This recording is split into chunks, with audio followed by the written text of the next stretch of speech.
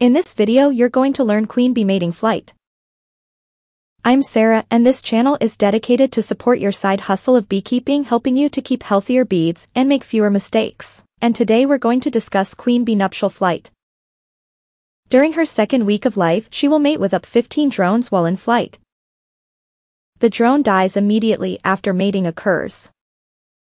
The queen will store the semen from the drones and will not mate again for the rest of her life even if she runs out of sperm. If she runs out, she will lay drones. A queen mates during the first one to two weeks of her adult life.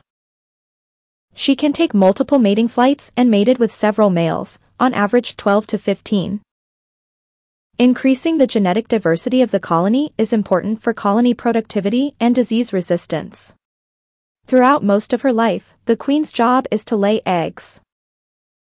However, early in a queen's life, she makes several mating flights. On these flights, she mates, in midair, with anywhere from 1 to more than 40 drones.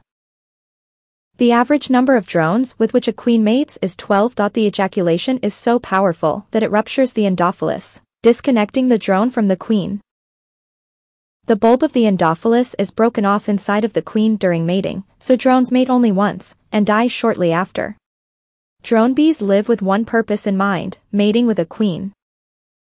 When they're lucky enough to achieve it, it only lasts a few seconds, and they die immediately afterward. Because their penis and abdominal tissues are violently ripped from the body as part of the process. Death by mating when a drone mates with a queen and releases his semen. It happens with such a force that his endophallus is ripped from his abdomen. When his abdomen rips open he usually dies shortly after. When a drone mates with a queen he generally won't survive.